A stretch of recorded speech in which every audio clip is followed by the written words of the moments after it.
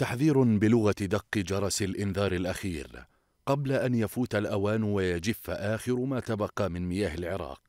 الإنذار الذي جاء بصيغة الدعوة العاجلة لدول الجوار لمناقشة فاعلة حول تقاسم المياه وتحدثت به الممثلة الخاصة للأمم المتحدة جينين بلاسخارت.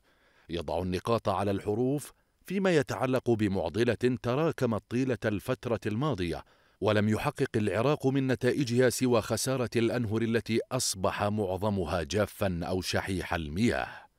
والمشكلة التي فتحت أوراقها قبل أيام وناقشها الأمن القومي بخصوص اتفاقية الجزائر تلك التي تربط الحدود المائية بين العراق وإيران أصبحت أكثر أهمية من أي وقت مضى من حيث إعادة نبض المياه العراقية إلى أنهارها وقنواتها المائية.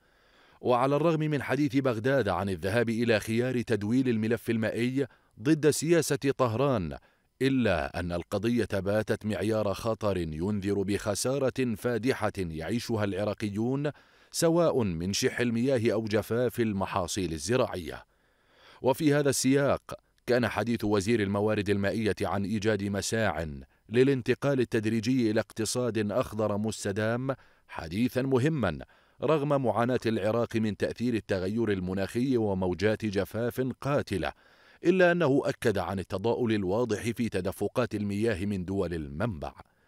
إذا خياران لا بد منهما في العراق للاعتماد على المياه والزراعة في الوصول إلى حلول جذرية تنقذ البلاد من السقوط في حفرة لا ماء فيها ولا حياة.